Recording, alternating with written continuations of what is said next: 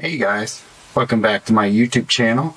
As some of you might know, I'm an art ambassador for Jerry's Artarama, and they sent me a box of new stuff for me to check out. So let's take a look and see what's inside, and I'll let you know what I think of it, and maybe you can make your own decision on whether it's something you would want to try out. So let's check it out.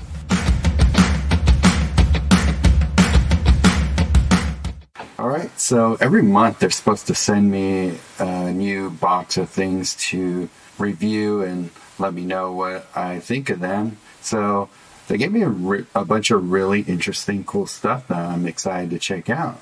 So let's go through it real quick. First thing out of the box will be this Strathmore Watercolor Travel Journal.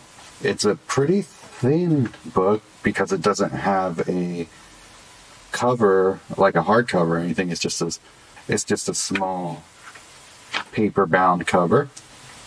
But I like this kind of a silicone rubber band that comes with it. It's uh, 20 pages, 140 pound, 300 GSM, 7 by 10 inches. Strathmore watercolor travel journal. And uh, paper looks nice. I like the um, the texture of it. It's got kind of that cold press feel to it. And uh, Strathmore does this thing also with their visual journal where one side is that like cold press texture and the other side is more of like a canvas texture.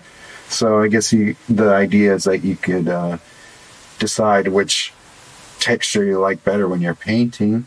And uh, I do like, for myself personally, the just watercolor texture with gouache so that's probably the side I'll use, but it's a nice paper. I do wish it had more of a hard binding, but I think it's a good paper, so that'll be nice to have. I don't know if I'll, it's something that I'll stick like in my bag and stuff because I might be afraid of it bending and stuff. So that'll probably be a studio study sketchbook. Here's the next thing. One of these flower palette. Don't be thrown off by the shape of this thing the reason that they make these flower palettes is actually kind of a, a smart design for it. But let me read the back of it. It says uh, nanoparticle size material. I think it's plastic, but let's make sure. Lightweight and structurally strong, will not warp, which is very important if you're using water on it. For use in or away from the studio. Super stain resistant, easier to clean than other palettes. it's got this thing, watch your watercolors blossom and uh, it's 8 inch diameter, 6 petal shaped wells measuring 1 and 7 eighths inch by 3 and 1 eighths inch. I don't know if that matters that much, the exact size of it, but gives you an idea for what it looks like. And uh, it's nice and lightweight. Um, what I think I might like about it, as opposed to my ceramic palettes, is um, it's a lot lighter than ceramic palettes I use when I take out in the field. So if this is as easy to clean as my ceramic palette, I, it'll probably get a huge recommendation from me because I do like the size of the wells. Sometimes the ceramic palettes, especially the small ones, have small wells, and uh, maybe the it doesn't need, necessarily need to be a, a flower, but um, maybe these little ind indented lips might actually help um, clean the brush off better when you, um, you know, run your brush across it. So let's see. That's a fun one. This looks very interesting to me. It's the Acryl-a-Miser palette system. And uh, the whole idea about this one is that you'll waste less paint. Okay, I'll just read the box. Great for out in the field or back in the studio. Special gasket makes palette airtight and keeps moisture out.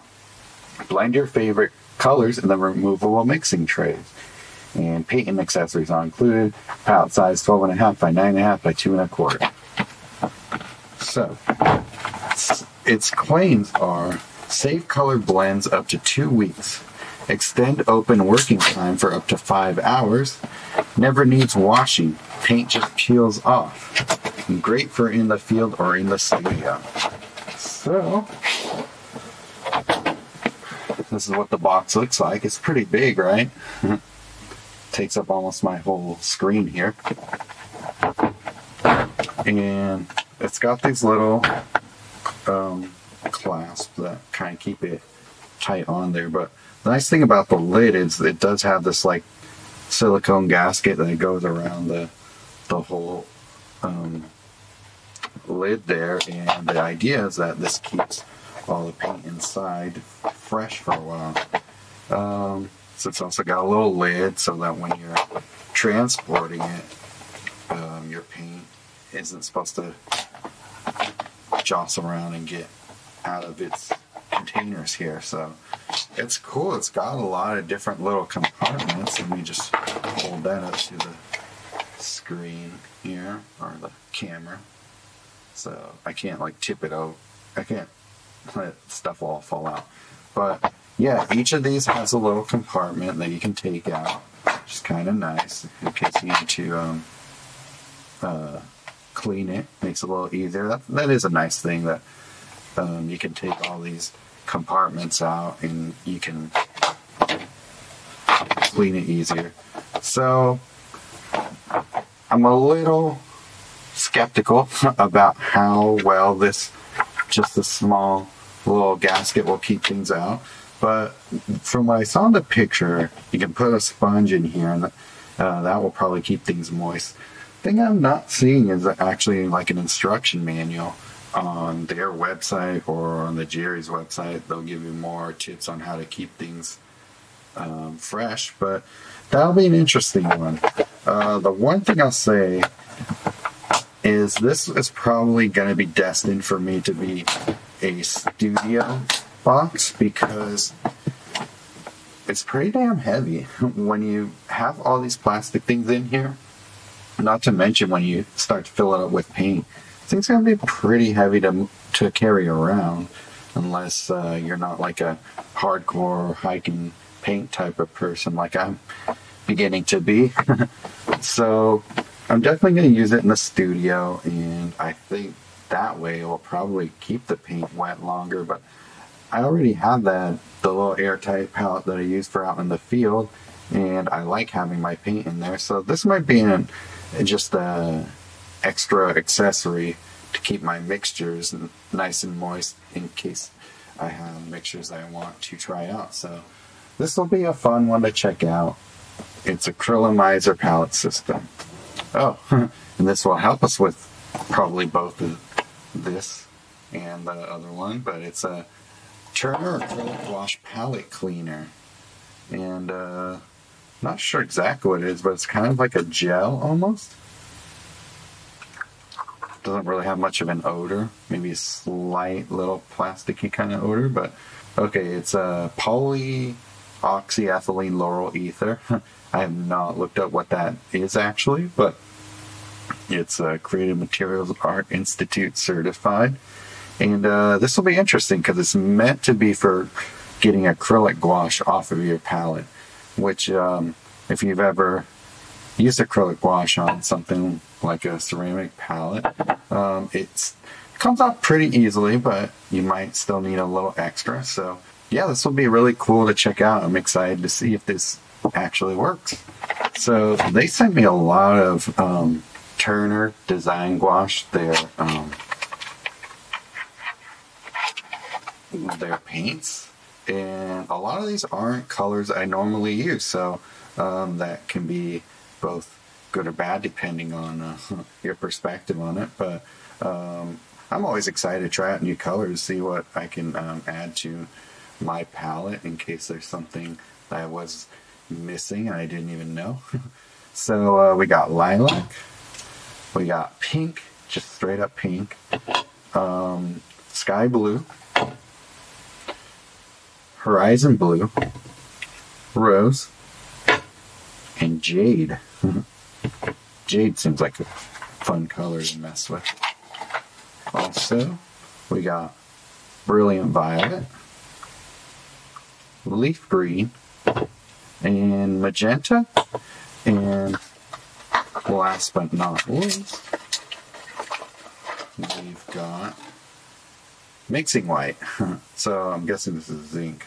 Um, I'll have to go through and check out the light fastness rating. I bet a lot of you are probably curious about some of these uh, more magenta or uh, more neon like colors like this pink.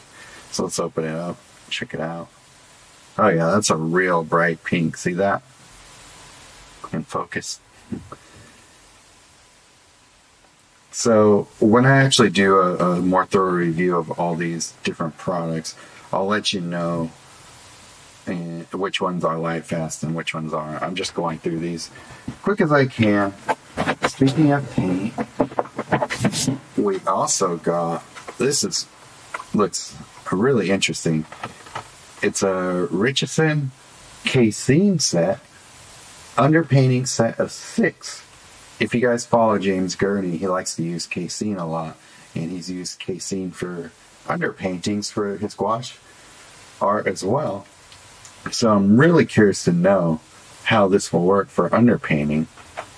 And casein is something I've only played with really um, minimally. So this will be something to check out. And if I really like casein, I'll probably just pick up a, a set, a tube of white from somewhere and uh, work with it some more. But uh, there's also Gareth Jones. He does awesome work with casein and he probably uses like a really limited palette like this. So that should be fun.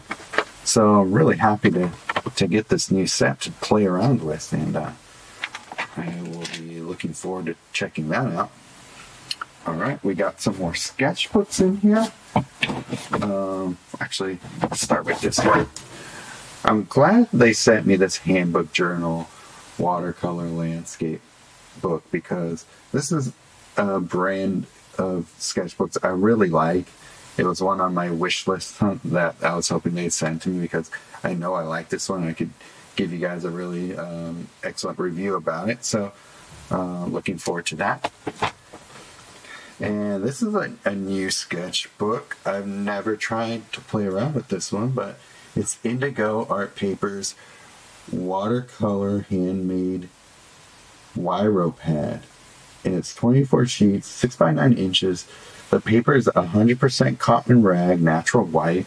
So this looks like really quality paper and really unique and interesting for um, for a sketchbook. And also each paper has a little um, protective sheet so, of like almost like wax paper. But uh, the paper is really cool. Uh, the texture is super interesting. Smells like cotton as well. so I'm really looking forward to trying out this paper and uh, letting you guys know what I think of it. And uh, you guys are, will probably be pretty um, curious about what it looks like or how it handles, right? 100% cotton rag. Um, I don't know the price on this one, but I can't imagine it's super cheap, but I'll let you know if it's worth picking up something like this. Um, really excited. I don't think I've ever tried um, handmade paper before. And speaking of, I don't know. I wish they gave me a bit more info on this one, but they also gave me a ream of these handmade sheets as well.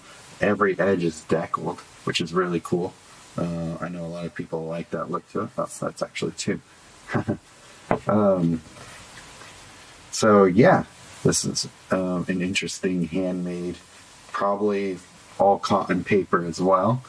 Don't know if you can see the texture on it, but I look forward to trying that one out with both watercolor and gouache.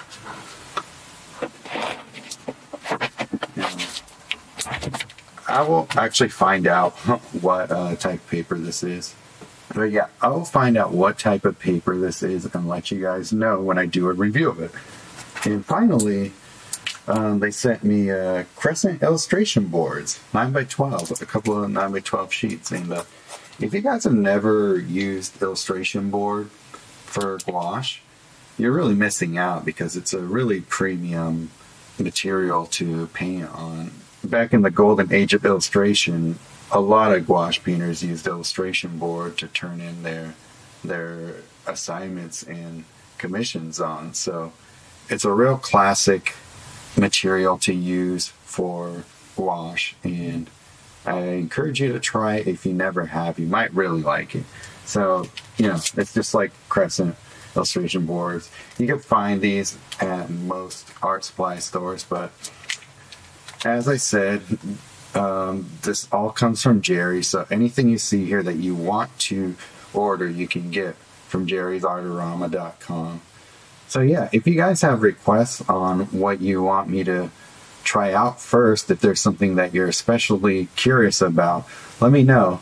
But otherwise, I'll go through all this stuff um, and give my honest opinion on everything. So if you're not subscribed yet, please subscribe so that when these come out, you can know exactly what I think of all them. And uh, yeah, if you are subscribed already and you are not notified, hit the little bell button at the top and you'll get notified when I post a new video to my channel. So if you're especially interested in these reviews, go ahead and do that.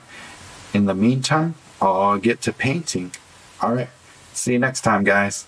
If you're interested in learning everything I know about painting in gouache, I have a course on zentinacademy.com called Gouache Painting Made Easy, and you can either follow the link in the description below or Google Gouache Painting Made Easy with Sergio Lopez.